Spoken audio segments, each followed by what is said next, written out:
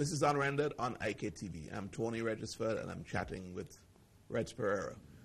Reds, um, we're talking about the book, and I said I was going to ask you categorically, what were your dreams?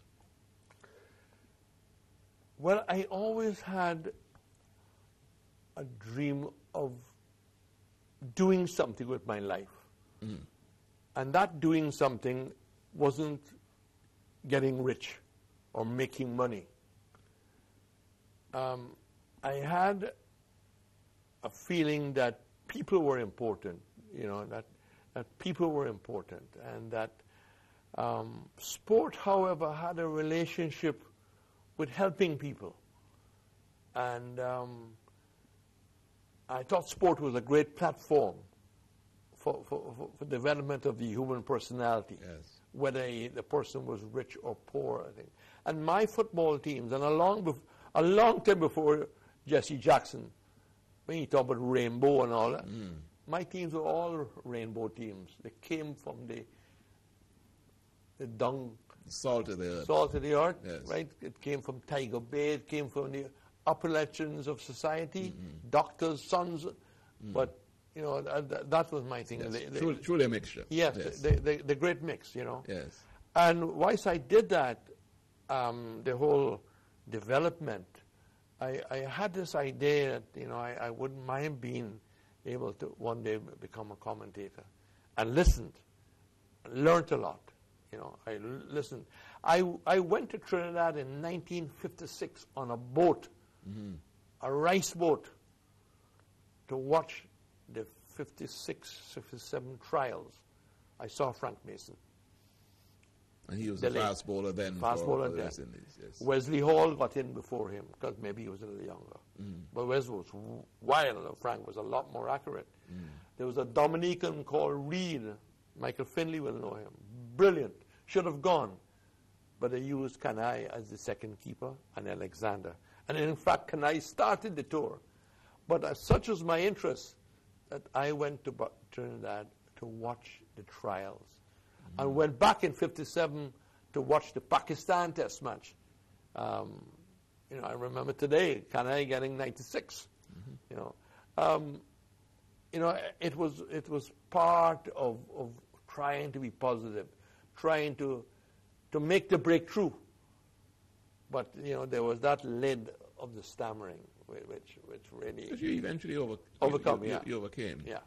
The, the, the whole thing about your commentary, I mean, that has made you famous. Certainly, you know, people of a certain generation anyway. You also had an official job as being the sports coordinator for the OECS. Uh, what period was that? 1984, September 1 to December 15, 1996. So that's over a 10 year um, tenure. Closer to, to 12. Yeah, more, more, closely to 12. And of course, you continued doing commentary during that um, Yes, period. yes. Um, but I want, I want to say outset that, you know, we talk about insularity. Here was a, a non-OECS born person given that opportunity. And it was a challenge, and, uh, you know, I, I, I am very grateful for the opportunity given. They didn't have to. What, what, what was the responsibility of the desk of the OECS coordinator? well, it was, a, coordinator. it was a brand new desk. There was Yes. nothing to follow. no precedent. No, mm. and uh, you know, the UNESCO paid for the first year for the running of the desk, mm. but UNESCO didn't give me hundred thousand dollars as seed money to to kick off. Mm. Eighty-four, September, not a, a lot of time left in the year. Bear this in mind, Tony, that there were two CARICOM sports people prior to the creation of, Of the OECS yeah. sports desk, yes. And not a lot happened for the OECS countries. A lot of visits, a, a lot of meetings, a lot of writing, but no action. The people ain't seeing X, Y happening on the ground. And I was under maybe a little bit of, of pressure to deliver. And if one year in the job I could not deliver, I was going to bow out because I didn't want to stay in a thing where only me benefiting And, and is not yes, happening. But, yes. But this is where the cricket came in. The cricket helped me a great deal because of being known um, as a commentator. Uh, you will open your door and give me a hearing simply because you might like cricket, might like me as a commentator. The other good reason is that the Director General, then Dr. Vaughan Lewis, gave me a free hand. Mm-hmm. I could approach any Prime Minister, any Minister of Government, any Minister of Sport, any sponsor, without having to clear that with Dr. Lewis. Of course, I will do it in a structured way. I will let him know. I will write a report, Yes. right? Um, when I made the breakthrough, or when the OECS Sports Desk made the breakthrough with Liat getting a 50% r- r- rebate, Reduction.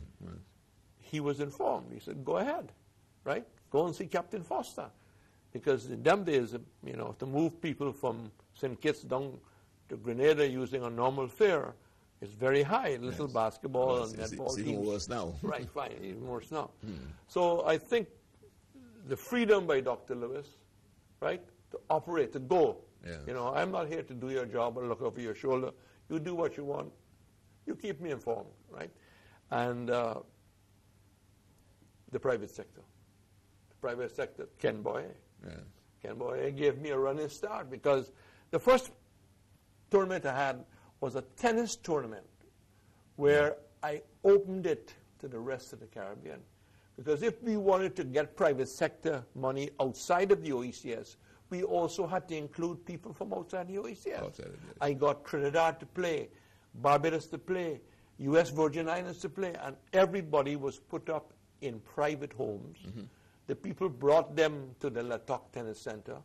We got food arranged, donated, Mm. and we had tennis. Did you find it a very exciting job? You- Well, you obviously did. You lasted 12 years in it, mm. right? It So was very must have- challenging, very Yeah. challenging. It was up in the morning, early.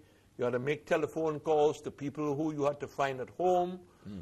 because it might be difficult to find them at work, especially if they're a civil servant and they're, they're on, on the beat, they're out in the field. Um, it, was a, it was a pressure job. Second was a half marathon I held in St. Lucia. Mm-hmm. We had 96 people running, right? People from everybody sent runners. East Caribbean Flour Mills. The next, um, in December, we had our first basketball tournament, and I delayed it until Grenada had the elections, the political elections. Yes, yes. And then the basketball um, association started to function, and I made sure that Grenada could play. We had a yes. tremendous 4,000 people at Windsor Park. When Eugenia Charles, who is not known to be a great sports person, Yes. not that, that, she might not appreciate Mm-hmm.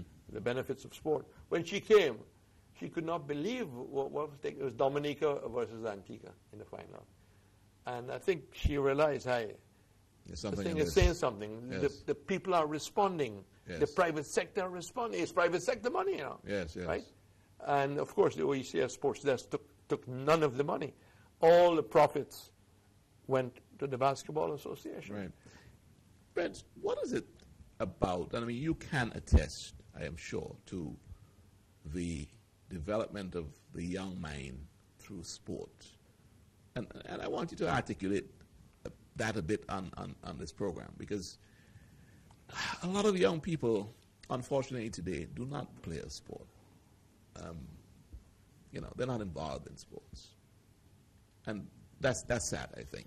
But, you know, just articulate a bit so that the young people looking at this program can understand, and not just them, but their parents can understand the, the significance of a sporting uh, discipline, if you want, in the life of, life of a young person.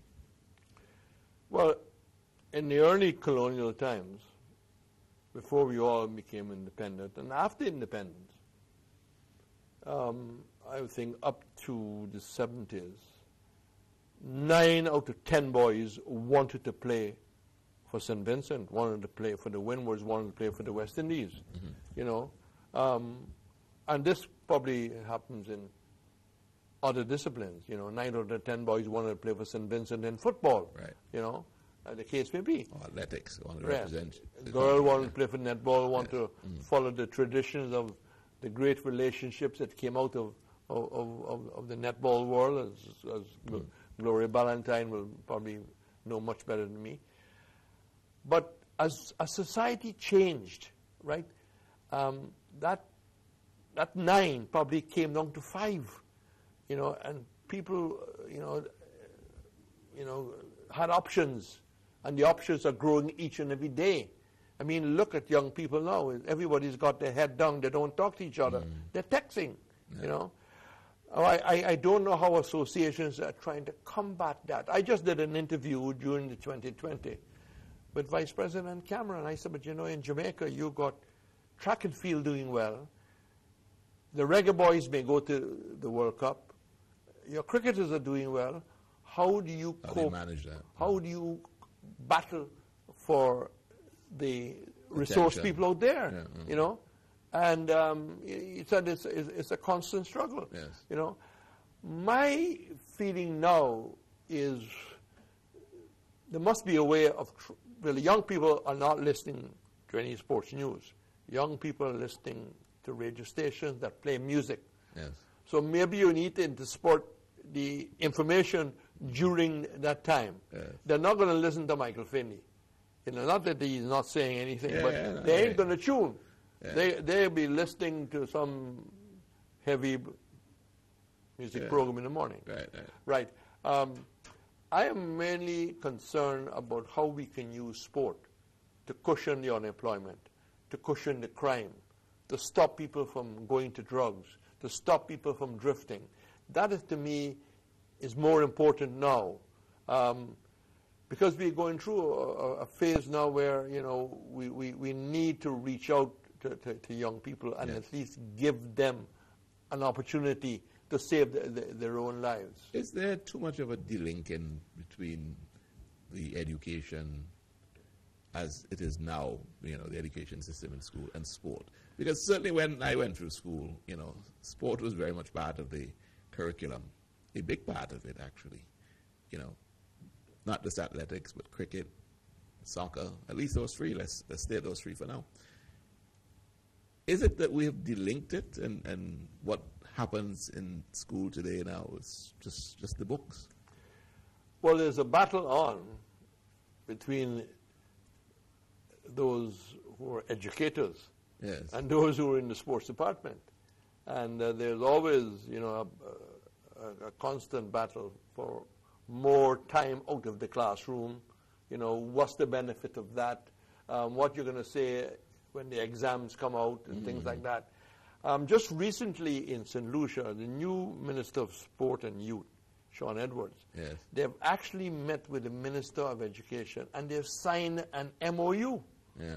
so that they can really have something written down and a cooperation pack where they can get the best of the both worlds. Yes. You know. Well, we're at the end of this third section, so let's pick up in our last segment. I want to talk about one of the major obstacles that you you you overcame. This is one that had to do with your health, and um, we'd, we'd also continue to look at living my dreams. This is Unrendered, and my guest is Joseph Reds Perreira. We'll be into our last segment when we come back from the break.